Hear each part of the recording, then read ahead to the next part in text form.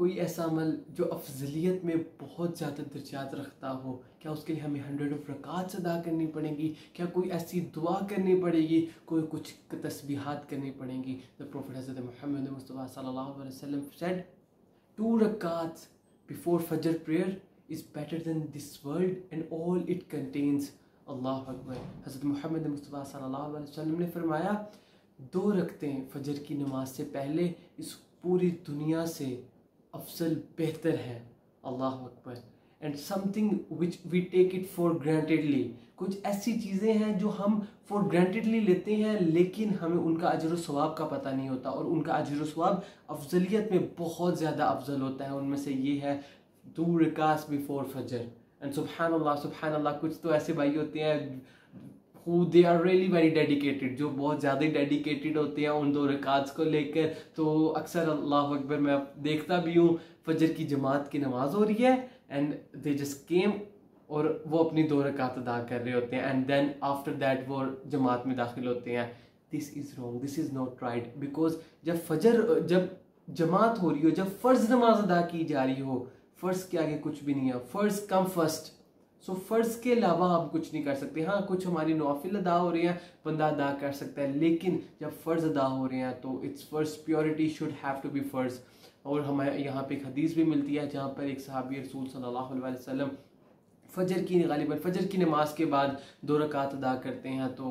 हज़रत मोहम्मद सल्लल्लाहु वसल्लम दरियाफ्त करते हैं कि कौन सी दो रकात अदा की हैं, क्योंकि ऑब्वियसली फजर की नमाज़ के फ़ौर बाद कोई दो रकात, ऐसे कोई नाफिल है नहीं। तो उन्होंने कहा था, आप सल्लल्लाहु अलैहि वसल्लम सुबह लेट हो गया था तो जमात हो रही थी, मैंने फजर की नमाज़ में दाखिल हो गया। वो जो फजर से पहले वाली दो रकात है, मैंने वो अदा की हैं। एंड आप अलैहि वसल्लम कीप साइलेंट आप सल्लल्लाहु अलैहि वसल्लम ने खामोशी इख्तियार की एंड इट मीन दैट कि आप सल्लल्लाहु अलैहि वसल्लम की खामोशी भी एक थम्स अप होती है, वो अमल मना नहीं किया गया। हाँ अगर आप सल्लल्लाहु अलैहि वसल्लम मना फरमाते तो इसका मतलब होता कि हमें ये अदा नहीं करनी। लेकिन अगर हमारी मिस हो गई है वी कैन डू अदा। लेकिन इस तरह नहीं कि हमारी फजर की जमात हो रही है और हमने इस तरह जमात को तरह डिले कर लेंगे, ठीक है, जमात में हम दाखिल हो जाएँगे, पहले जल्दी जल्दी से दो रखते हैं, हम अदा कर लें that's no the way to do this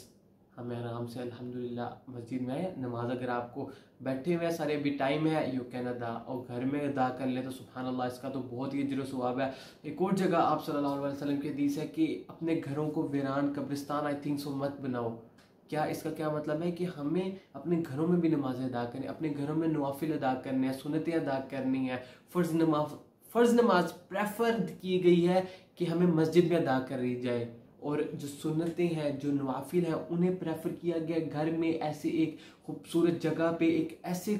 माहौल में अदा की जाए जहाँ पे आपका और अल्लाह सुबहान ताला का एक रिलेशन बिल्ड हो, जो सिर्फ़ आप फील कर रहे हो कि इस वक्त मैं सिर्फ़ और सिर्फ़ अल्लाह सुबहान ताला के सामने बैठा हूँ। सो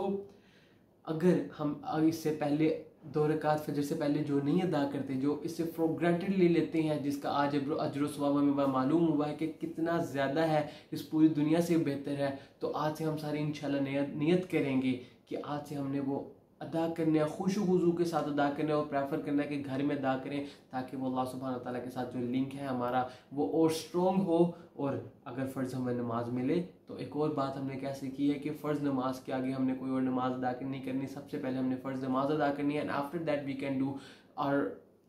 नॉफिल्स सो वो हम घर भी अदा कर सकते हैं मस्जिद में भी अदा कर सकते हैं, लेकिन फ़र्ज़ नमाज़ फ़र्स्ट कम फ़र्स्ट सो फ़र्ज़ नमाज़ के आगे कोई नमाज़ नहीं अदा करनी, and this is the whole crux of this video so, if you haven't read the two rakats before, so take decision now, और डिसीज़न लेना है कि इनशाला इनशाला मैंने अपनी इस आदत को पक्का करना है, नींद को थोड़ा शॉर्ट करना है। बेशक शॉर्ट भी नहीं, इतना तो फ़र्क नहीं पड़ेगा। फजर एक जो हम हरी हो रहे होते हैं हर नमाज़ में, बस ऑन द इलेवंथ हार हमने देख लिया नमाज़ में, दो मिनट आके भाग जिस दौड़ लगा दी मस्जिद की तरफ़, इस तरह नहीं करना, थोड़ी देर पहले उठना है, वज़ू करना है, नमाज़ रो रकात अदा करनी अल्लाह Akbar. You you are the rich you just feel that the richness of this world अल्लाह अकबर आप अपने आप को रिच फील करेंगे because it is better than all this world अल्लाह अकबर सो आज की वीडियो को इसी खूबसूरत मैसेज पे एंड करेंगे. अल्लाह अकबर अल्लाम वरहमल वर्क